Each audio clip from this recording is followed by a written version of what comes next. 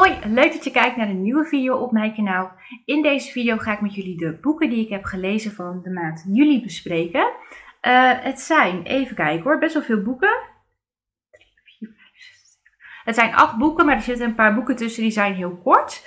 Dus uh, ja, ik ga je vertellen welke boeken ik heb gelezen en wat ik ervan vond. En of ik ze zou kunnen aanraden. Dus mocht je benieuwd zijn naar de gelezen boeken van de maand uh, juli, zou ik gewoon even zeggen, kijk gezellig mee met deze video.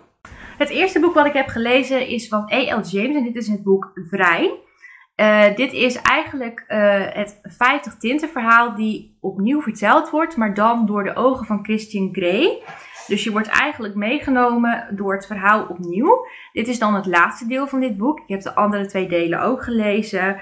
En uh, ja, de, de, je komt dus gewoon echt meer te weten ehm, over de gedachten van Christian Grey. In dit boek maak je bijvoorbeeld de bruiloft van Christian en Anastasia mee.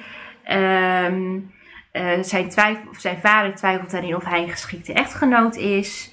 Um, zijn broer wil een geweldig vrijgezellenfeest organiseren waar Christian eigenlijk helemaal niet echt zin in heeft. En Anastasia die houdt zich ook niet echt aan de regels.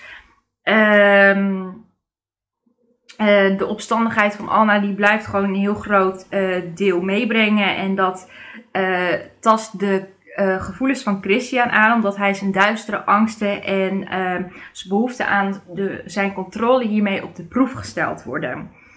Um, ja, ook oude rivalen die vormen weer bedreigingen in dit boek.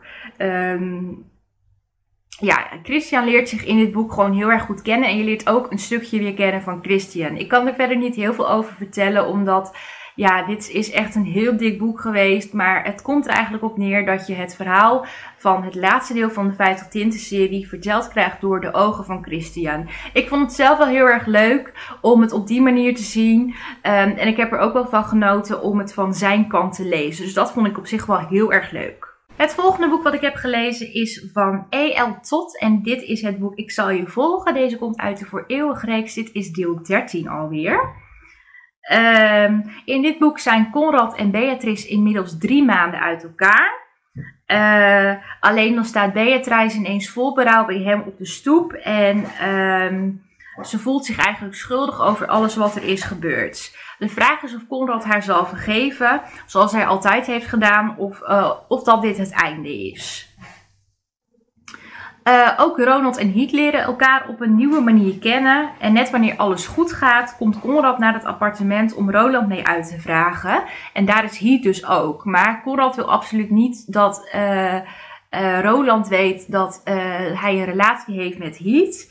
Um, maar de vraag is wel of dat hij zijn relatie geheim kan houden um, voor Roland. Of dat dit echt ook het einde van de relatie zou betekenen. Want Heat is er wel echt heel erg klaar mee. Trinity die weigert nog steeds om met haar vader te praten. Ondanks dat Sleet pogingen heeft gedaan om hen weer terug bij elkaar te brengen, blijft ze boos op Mike.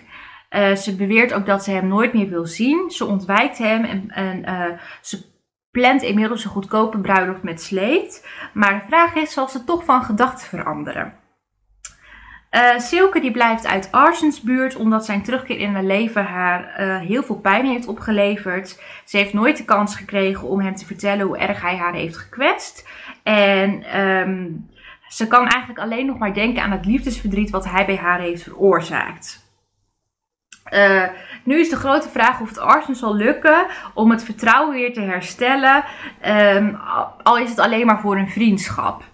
Ik hou het expres een beetje vaag, omdat ik vind dat je zelf de geheimen mag ontrafelen als je van dit soort boeken houdt. Uh, maar ik heb zeker weer heel erg van dit uh, boek genoten. Het volgende boek wat ik las is ook van E.L. Tot. Dit boek heet Het komt wel goed met jou, voor eeuwig deel 14. Silke uh, geeft inmiddels haar gevoelens aan zichzelf toe, ook al wil ze dit niet. Ze heeft om wat. Uh, ze haat Arsen nog steeds om wat hij haar heeft aangedaan, maar ze haat het feit ook nog steeds dat ze van hem houdt. Uh, het zou heel gemakkelijk zijn om bij Pike te blijven, maar zij voelt de passie niet in hun relatie. En ze vraagt zich echt af waarom ze zo geobsedeerd, geobsedeerd is door haar ex, die ook een gedetineerde is.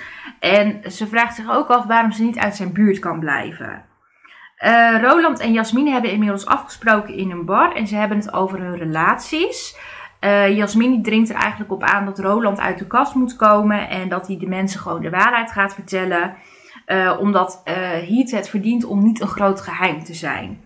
Roland weet ook wel dat dit waar is, maar de vraag is of dat iets zal veranderen aan zijn gedachtes.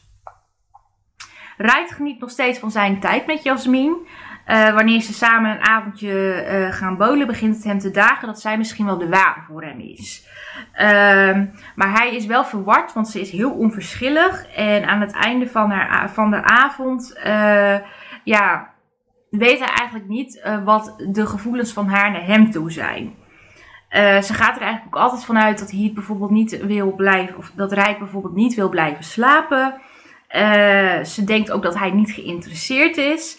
En ze, hij denkt dat er iets is wat uh, Jasmin hem niet vertelt. Slate en Trinity bereiden zich inmiddels voor voor de bruiloft, maar ze hebben allebei verschillende ideeën over wat ze willen. En Sky en uh, Kaisen die helpen met de planning, maar dat leidt meestal wel tot ruzie. Clementine gaat er eindelijk mee akkoord om een relatie met Wart openbaar te maken.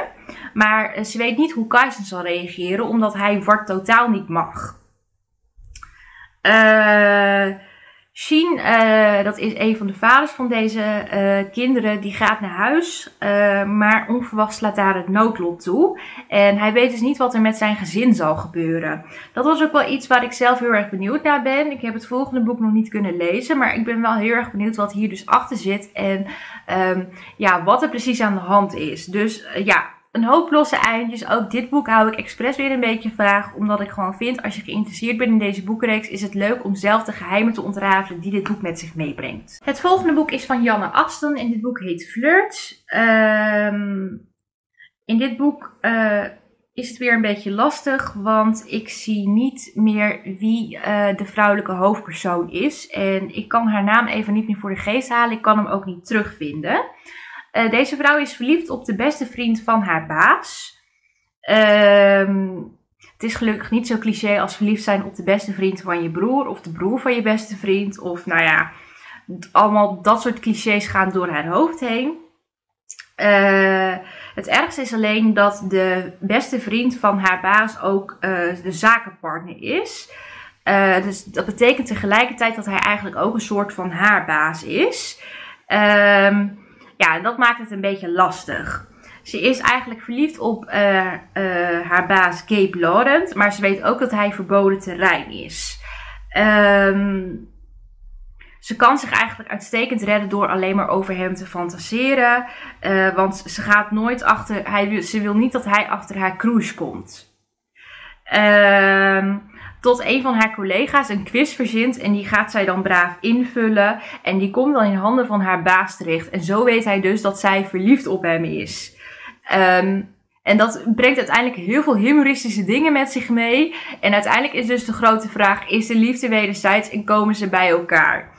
Ik heb heel erg genoten van dit boek. Um, het was echt heel erg leuk om te lezen. Ik vind dit soort boeken super leuk. En ik kan hem zeker aanraden, want Jena Asten schrijft echt hele leuke boeken. Het volgende boek is geschreven door Marloes Berghegen en dit boek heet Eén Despresso alsjeblieft. Um, dit is de eerste deel van een veelgoedserie. Um, uh, dit boek gaat over um, Hanneke. Zij is een dertiger. Zij heeft eigenlijk haar leven best wel op de rit. Ze heeft een, uh, een uh, baan als lerares Engels. Alleen, en ze heeft ook een relatie met Job. Um, ze woont samen met haar beste vriendin Josje en ze doen iedere vrijdag aan yoga. Ze haat yoga, maar ze blijft het volhouden, ondanks dat ze het echt niet leuk vindt. Um, ze zou heel blij moeten zijn met haar leven, maar haar werk voelt echt als een marteling aan. Uh, ze gaat nog um, de dagen met Job worden saaier. Ze gaat nog liever naar de tandarts dan naar yoga. Uh, Hanneke piekert heel erg wat ze met haar leven aan moet. En um, ze komt eigenlijk ook niet in actie totdat het leven dat voor haar doet. Want ze wordt ontslagen bij haar baan en ze weet dus niet meer wat ze dan moet. Um, door eigenlijk een hele reeks met gebeurtenissen verliest ze alles en is niets meer zeker. Uh, ze is tenslotte al 31 en ze ziet eigenlijk het leven in één groot dal vallen. Uh, gelukkig krijgt ze dan een baan bij een koffiesalon. En het is niet haar droombaan, maar ze heeft zoiets, dan kan ik de tijd overbruggen en kan ik in ieder geval geld verdienen. Uh, dus ja, dat is eigenlijk het enige wat ik over boek 1 kan vertellen. Want er komen nu nog uh, twee andere boeken aan. het, zijn, het is wel een heel erg leuk verhaal waar ik ook zeker heel erg van genoten heb. Dus ook dit is echt wel een aanrader. Het volgende boek is het Een dubbele shot Liefde is ook geschreven door Marloes um, Berghegen en komt uit dezelfde reeks als het boek hiervoor. Uh, Hanneke heeft haar draai inmiddels gevonden in de koffiesalon Boom. Uh, maar er komt een hele berg drama naar haar toe. Uh, ze snapt eigenlijk heel erg weinig van hoe de koffies gemaakt worden. Het komt allemaal heel precies. Ze heeft er heel veel moeite mee. Dan heeft ze, zit ze ook nog met de kwestie van Job, want ze weet eigenlijk niet wat ze ermee aan moet. Um, dan heeft ze ook nog een collega waar ze niet heel erg goed mee kwam. Maar toch maakt haar uh, buik iedere keer een, uh, een buiging als hij bij haar in de buurt komt of haar per ongeluk aanraakt. Uh, dan is Josje ook nog eens vastbesloten om het liefdesleven van Hanneke een handje te helpen. En dan is de chaos eigenlijk helemaal compleet. De vraag is of Hanneke haar gevoel volgt. Um, en dat maakt het allemaal best wel lastig, omdat er gewoon heel veel drama in voorkomt en ik wil niet te veel spoileren. Dus daarom kan ik ook wederom niet heel veel over dit boek vertellen.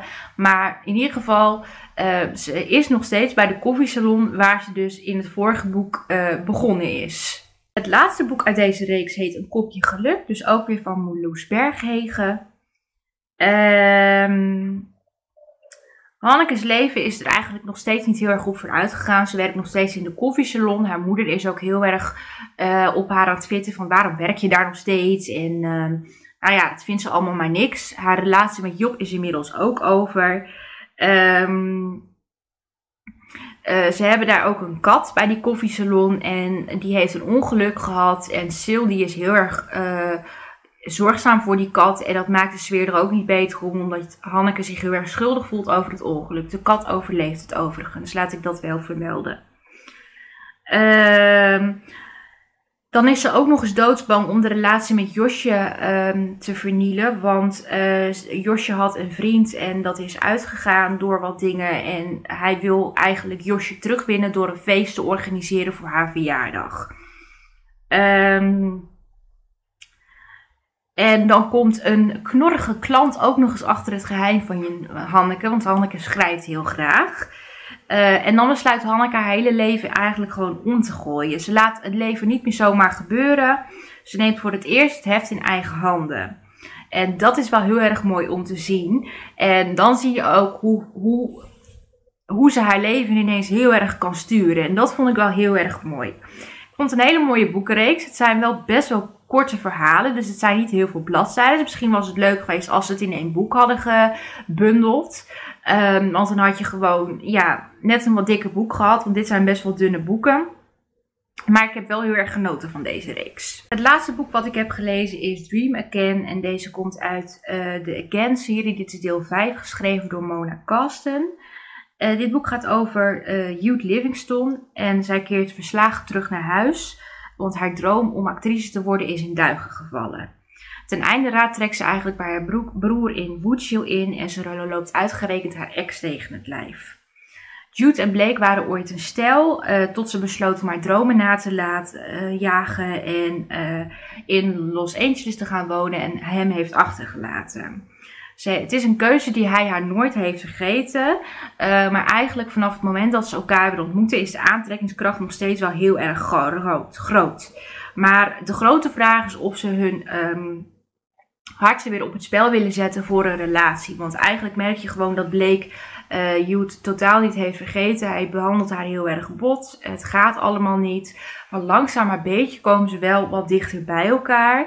Uh, ondanks dat het wel heel moeizaam gaat. En uh, er zitten heel veel hobbels in de weg. En um, ze heeft op een gegeven moment weer de neiging om weg te lopen. Maar uiteindelijk besluit ze dat toch om niet te doen. En heeft ze een heel goed gesprek met, met Blake. En dan is natuurlijk ook de grote vraag: gaat ze weer acteren? Want dat is wel haar grote passie. Ondanks dat hij uit in duigen is gespat, wil ze het toch heel graag weer oppakken. Uh, dat is alles wat ik over dit boek wil vertellen. Dit was ook het laatste boek in deze reeks. Um, ik vind gewoon echt dat je die reeks zelf moet lezen om erachter te komen wat de geheimen zijn. Want ik weet gewoon dat spoileren niet altijd gewaardeerd wordt. Dus ik doe dat ook maar niet. Um, maar het is wel gewoon een um, heel erg mooi boek waar ik heel erg van genoten heb. Dan waren dit alle boeken die ik heb gelezen in juli. Ik hoop dat het een beetje duidelijk was. Het kwam misschien af en toe een beetje uh, uh, onduidelijk over. Maar ik, ik probeer zo min mogelijk te spoileren. Dus om zo min mogelijk uh, dingen vrij te geven. Omdat het anders niet echt leuk meer is om een boek te lezen. Terwijl je juist meegesleurd wil worden in een boek. Ik heb in ieder geval van de boeken genoten. Ik ben eigenlijk benieuwd of jij een lezer bent of dat jij een van deze boeken uh, zou willen lezen. Of dat het totaal je genre niet is. Dat kan natuurlijk ook. Laat het zeker even weten in de comments. Uh, ik wil je voor nu in ieder geval heel erg bedanken voor het kijken. Mocht je nieuw zijn op mijn kanaal kun je gratis abonneren. Het kan er op het rondje bij mijn gezicht drukken of op mijn kanaal zelf. Daarnaast staat een belletje en als je daarop klikt krijg je een melding van zodra er een nieuwe video online staat. Vond je deze video leuk? Doe dan zeker even je duimpje omhoog. Voor nu bedankt voor het kijken en ik hoop je bij een volgende video weer te zien. Doeg!